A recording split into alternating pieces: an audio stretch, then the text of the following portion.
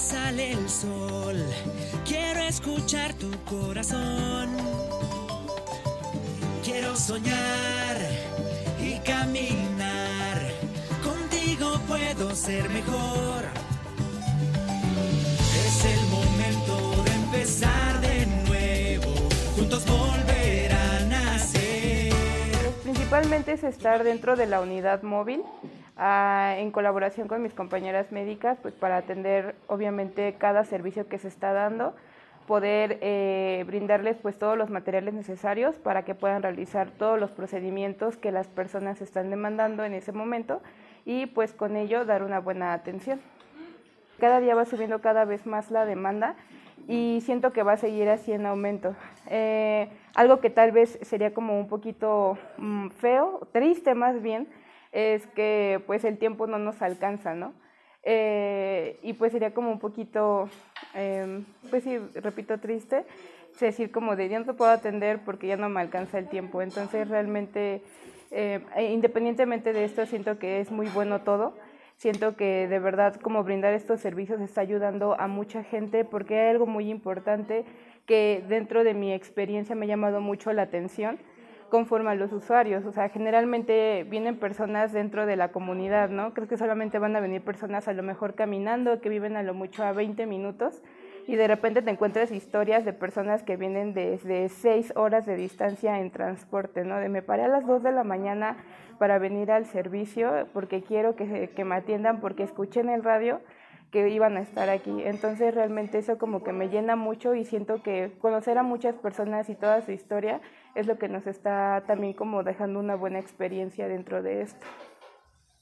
Estas que, consultas, pues, ¿en qué consisten? Pues básicamente es como una consulta de primer contacto, pues, para detectar o nosotros diagnosticar algún problemita que la mujer usuaria está presentando. Pues más que nada, lo que está diciendo ahorita con la muchachita esta, mi compañera ahí del asiento. Le digo, mira, la verdad, le digo, con estas personas yo la primera vez que vengo y escuché por medio de la radio, le digo, pero la verdad siempre que haya una, una promoción de estas hay que tratar de aprovecharlo, le digo, porque son gentes bien amables. No sé, le digo, qué, qué instituciones pagarán o cómo, pero la verdad son amables, le digo, no, no, o sea que no tiene, no tenemos por qué quejarnos de nada, al final de cuentas. No, siento que, que está este, al 100, que está muy bien y, este, y que el servicio está excelente.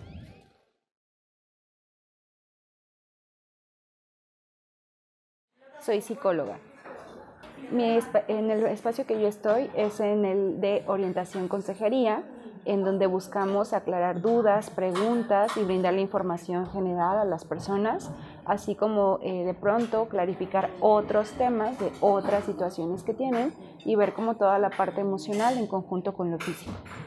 Ha habido muchas dudas, sobre todo referentes hacia su cuerpo, sobre su salud sexual, ¿no? Como el cómo me cuido, cómo me protejo. Hablábamos mucho de las ITS, ya que, bueno, estuvimos haciendo pruebas de detección de ITS y algunas de estas pues se desconocían. La, la más eh, reconocida que, que, de pronto estaba era solamente el VIH, pero se desconocía acerca de otras ITS que están latentes y que justo pues estuvimos haciendo la detección, ¿no?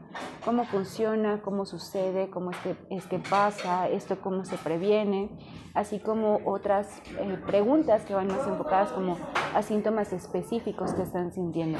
Muchas dudas sobre los métodos anticonceptivos, porque bueno, una de las realidades, por desgracia, es que nos encontramos con eh, médicos que dan información errónea. Y una experiencia que les quiero compartir y que me encantó y me fascinó fue que em, uno de estos días, me parece que fue ayer, este, llego y estaba una señora con su hija paradas al lado de la mesa donde se estaban registrando y había todavía eh, sillas vacías donde podían pasar a tomar asiento. Entonces yo pregunté y les dije, ¿por qué no pasan a sentarse eh, para que no estén paradas? Y me dijeron, no, es que estamos escuchando en este momento la novela y solo se puede escuchar en el teléfono. Entonces, si nos vamos para allá, ya no vamos a escucharlo. Y se quedaron ahí paradas al lado del teléfono para poder escuchar la radionovela y que no perdieran el capítulo. Entonces, me parece que este, este trabajo que ha hecho la, eh, la radio de Guaya con la radionovela ha sumado muchísimo y ha sido muy bueno porque justo a partir de ahí muchas personas se han identificado o se sienten identificadas con los personajes y te dicen, ah, sí, claro, me está pasando lo mismo que a tal personaje o no quiero que me pase lo mismo que a tal personaje y entonces, ¿qué hago? ¿no?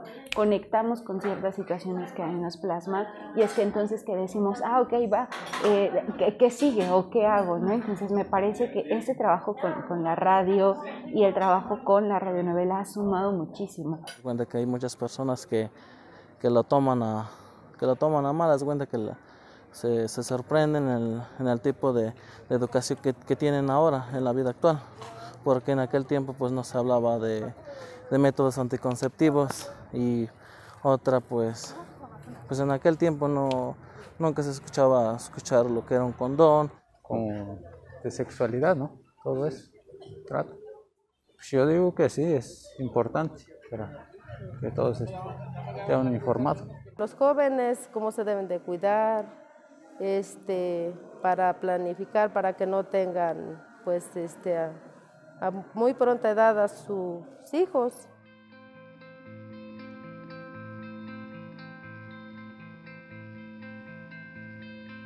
Pajarillo jilguero, presta tus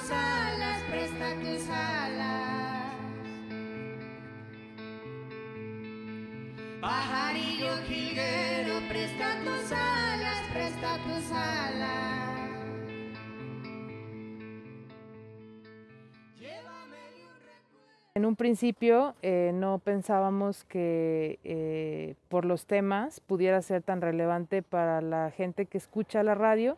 Sin embargo, pues nos hemos dado cuenta que las historias son cercanas a la vida de la gente y eso ha generado que eh, la gente se enganche, que la gente se interese con estas historias y por esa razón me parece que la radionovela eh, pues está gustando en las comunidades principalmente y bueno pues está generando eh, también procesos reflexivos en los radioescuchas.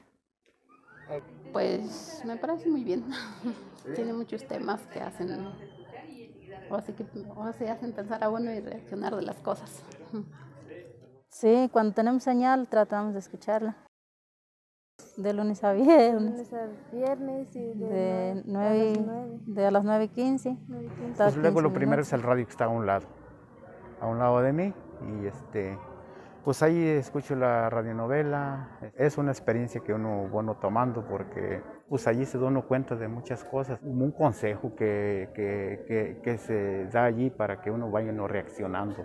Va de acuerdo con algunas cosas que pasan, este, ahora sí que en, en la comunidad o este, de repente hasta en familia hay, hay casos así. Me gusta escucharla, soy ahora sí que fans de la radio Guaya y este, me gusta mucho esa radionovela, me encanta porque habla mucho de sexualidad y de cómo ahora sí este cuidarse también o no y este cómo defenderse cómo salir adelante.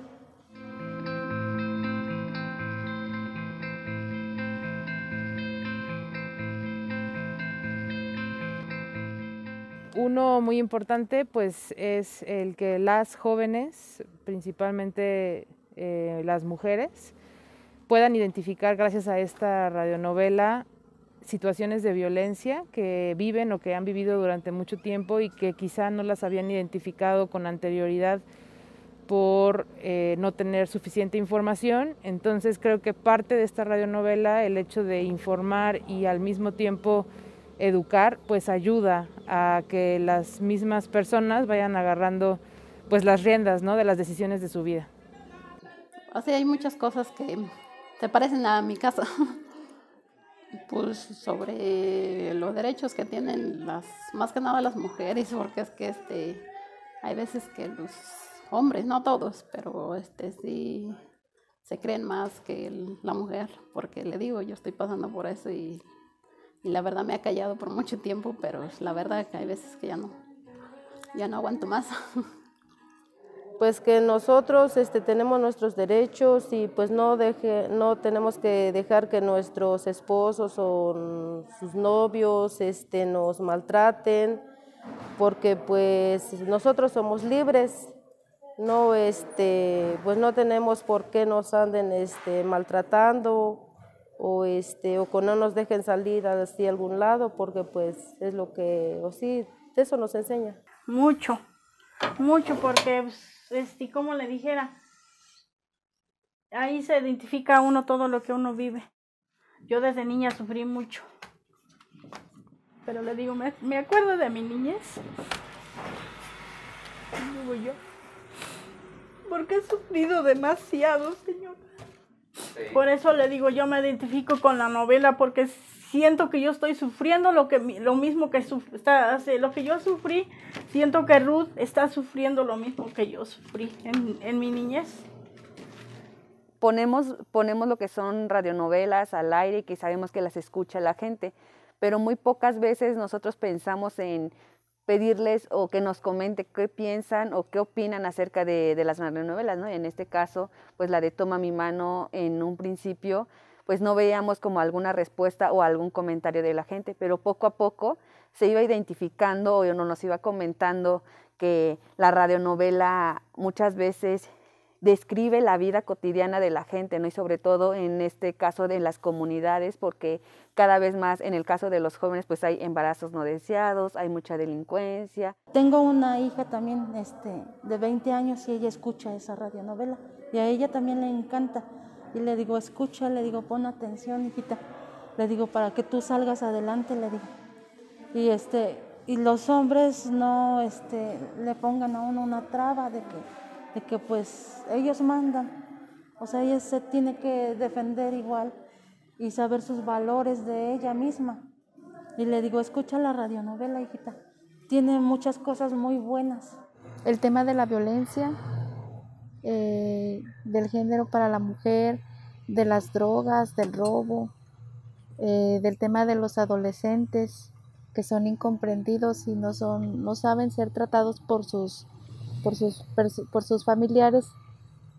Bueno, los que recuerdo son Lucía, eh, Alex, eh, este, el hermano de Alex, que le dicen el diablo, el Judas, este, la abuelita de Lucía y Ruth, eh, la mayoría de los personajes. Pues nos gusta en que pues eh, ahí pues, nos entretenemos en, pues, en escucharla, de que pues, habla de muchas cosas, de cómo cuidarse, como por ejemplo lo de Maricruz, lo que está pasando con ella.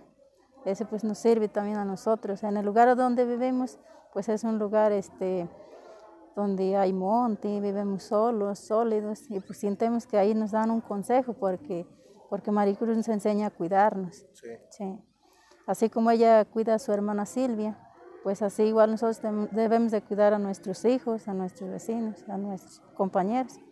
Ah, me gusta de que Ruth cuida mucho a su hermanita, o sea, de su tío, de su propio tío, o sea, es una persona no con buenas intenciones, o sea, con malas intenciones hacia la niña. Y eso no me gusta. Y, y no todo el tiempo va uno a pasar de así este, con esa clase de personas, o sea, cuidándose de, de esa clase de personas. Sí me gustaría que siguiera la radionovela y que le volvieran a dar una repetición, porque es una radionovela muy bonita, muy bonita.